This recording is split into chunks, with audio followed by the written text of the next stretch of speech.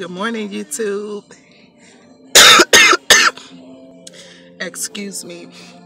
Happy Sunday, October 1st, 2017. Um, this morning I have to vent just a little bit. Just a little bit. Yep, I'm still rocking these raggedy nails. The struggle is real right now, but it's all right. Um, what is the deal? And no, I didn't put on makeup today. You get to see all of what exists on this face of mine. All of my. Uh, but um, today I have issue because um, what is with these gas stations and corner stores. I'm wondering if if they if if you if some of you people out there are experiencing the same thing that I experience or noticing the same things that I notice um, with these gas stations and corner stores that are not of our people. And I'm not trying to start an uproar or anything, but see, I, I find myself always taking up for children in the neighborhoods. Like, hey, give them their change.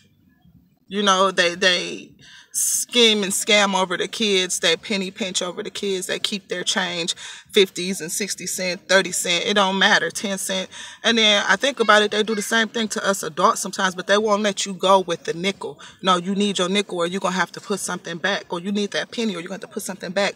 But then you're in the gas station and you buy something for, for 79 cent, 89 cent. They damn near won't always give you your change if you don't really pay attention.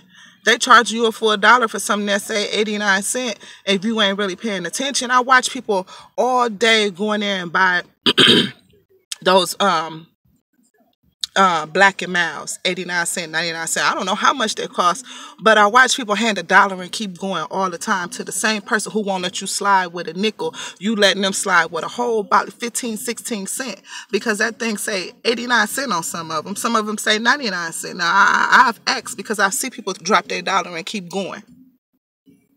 And then, you know, when you short a penny or a nickel, they like, um, no, no, no, it's not enough or they won't even take some people money if they give them too much change. Like no go get dollars or uh, we don't want we don't want the change or whatever. So this morning i'm up in the gas station and um the man told me i was short a penny. And i'm like how am i short a penny? You charging me a dollar a dollar and and, and a penny? Ain't no two two cent tax on on nothing why owe you a penny if I just got something that costs 99 cents? I go in another gas station, buy something 99 cents, give him a dollar. He say 99 cents. I give him a dollar and he like, thank you, have a nice day. No, give me my goddamn penny.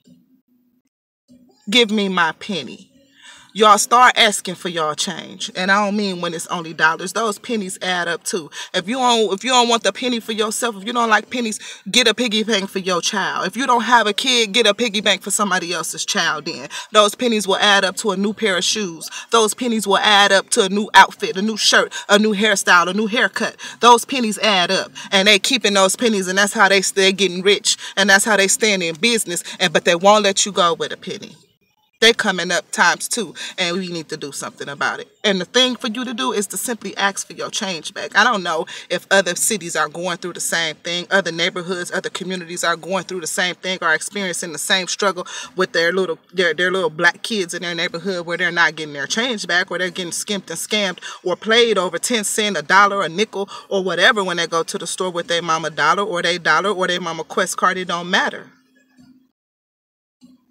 Get your change. Teach your kids how to count so they can get their change.